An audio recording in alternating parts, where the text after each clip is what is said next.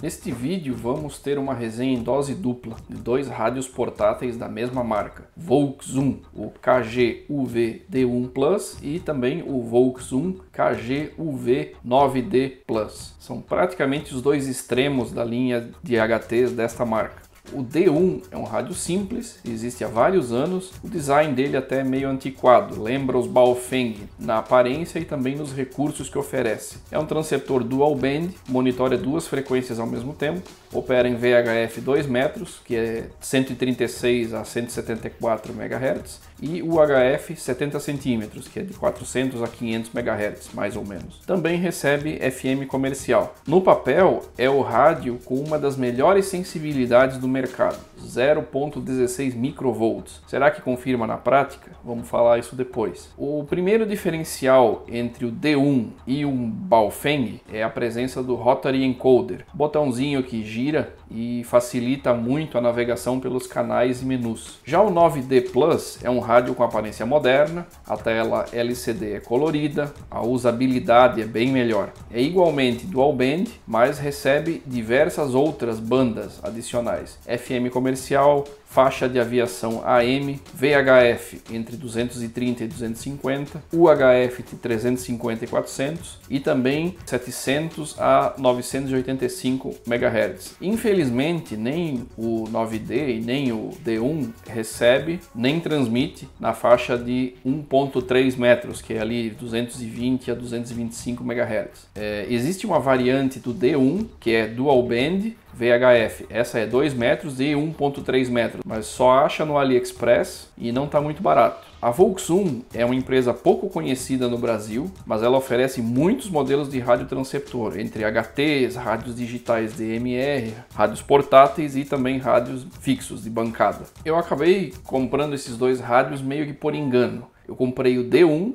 o vendedor eh, mandou um aviso de falta de estoque, aí eu cancelei o pedido e comprei o 9D. Nesse ínterim, o primeiro rádio voltou para o estoque e acabou sendo enviado. E eu aí acabei com os dois, mas acabei gostando do D1 a ponto de ficar com ele como meu backup. O D1 é um rádio com um projeto relativamente antigo, então a, a Volkswagen foi evoluindo passo a passo até chegar no 9D Plus. A diferença entre o 9D e o 9D Plus, né, você encontra os dois para vender no Mercado Livre, por exemplo, é justamente esse recurso de repetidor crossband. No geral, esses rádios da Volkswagen eles estão num patamar superior aos Baofeng e assemelhados, tanto na qualidade quanto no preço. Os rádios Volkswagen possuem um receptor heteródino de dupla conversão é um circuito mais tradicional, dá para fazer uma boa filtragem do domínio analógico. O resultado é grande seletividade sem perda de sensibilidade. Além da, desse receptor melhor, os rádios D1 e 9D possuem circuitos VHF e UHF totalmente separados. É como se fossem dois rádios num único invólucro. Os acessórios que vêm na caixa variam muito conforme a edição e o mercado de destino. Um motivo de ter escolhido esses rádios foi que eles são compatíveis com os acessórios do Baofeng UV5R. Eu já tinha alguma coisa, tinha um PTT, tinha um cabo de programação, tinha cabo para fazer APRS, todos esses funcionam nos Volkswagen. Meu cabo de programação Baofeng funcionou com o 9D, mas não funcionou com o D1. Parece que o D1 é mais exigente na questão do cabo. Então eu comprei um cabo Retevis, que é o, o circuito dele, o serial, é um FTDI legítimo. Só consegui encontrar esse cabo no eBay, mas ele funcionou com todos os rádios então. Quanto ao software de programação do, dos rádios, o D1 já funciona com o Chirp. O 9D até tem no menu do Chirp, então deveria funcionar, mas para mim não funcionou talvez meu rádio tenha um firmware ligeiramente diferente. Então, para programar o 9D, eu tenho que usar o software que a própria Volkswagen fornece de graça para Windows. O 9D funciona perfeitamente usando o cabo APRS K1 que eu comprei da Baofeng Tech, é, conectado a um celular ou a um computador. Além de muito sensível na recepção, o 9D parece entregar uma excelente qualidade de áudio, o que se traduz em decodificação com alta taxa de sucesso. Já o D1 não foi tão bem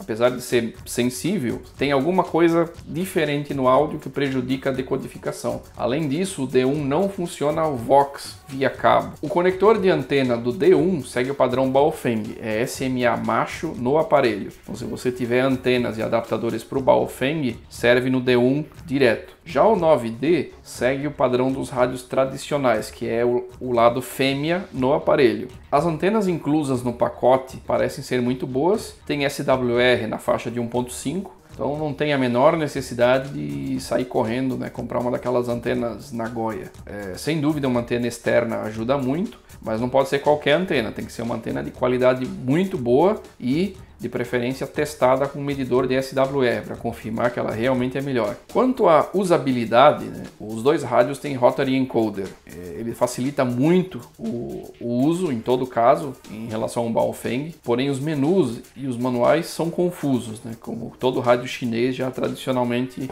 o é.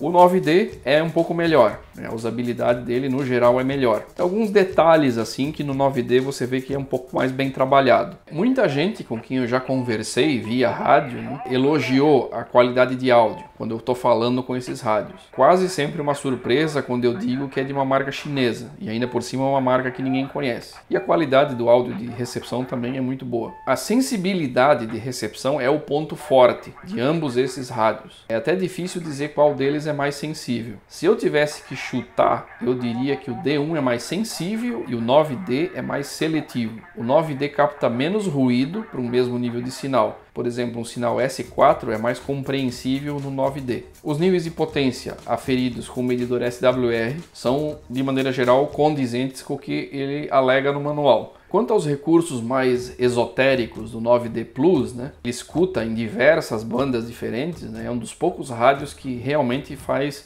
é, demodulação AM na faixa de aviação. Quanto à escuta em faixas de 700 até 900 MHz, nós radioamadores ainda não usamos a, a, muito a faixa de 33 centímetros, mas por incrível que pareça existe sim fonia analógica nessas bandas. O que eu não testei ainda foi o repetidor UHF VHF do 9D Plus, que é aquela a história do crossband repeater. Muita gente inclusive prefere a versão Plus do rádio por ter esse recurso. Um caso de uso poderia ser uma atividade onde você tem alguns participantes só tem rádio VHF, outros têm UHF. Aí você posiciona esse 9D Plus num lugar um pouco mais alto e aí uns conseguem ouvir os outros.